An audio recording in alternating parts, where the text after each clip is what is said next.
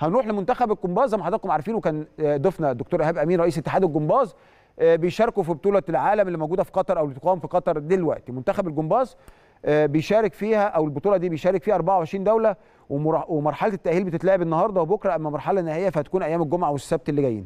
البعثة طبعا بترأسها الدكتور إيهاب أمين رئيس الاتحاد وبتضم لاعبات نانسي طمان زينه إبراهيم جنى هاني أما اللاعبين عمرو عمر العربي علي زهران محمد عاشور وعايز أقول لكم خبر لسه جالينا حالا إن أربع لاعبين مصريين اتأهلوا للأدوار النهائية. مين هم؟ نانسي طمان اللي كانت ضيفتنا واللي خدت بطولة العالم أو ذهبية بطولة العالم وزينة إبراهيم وجنى هاني وعلي زهران. الأربعة دول تأهلوا للنهائيات وده خبر يسعدنا يعني بشكل كبير. ان هم كده بيقربوا بشكل أو بآخر لبطوله أو يعني ميدالية زي ما بيقولوا في بطولة العالم.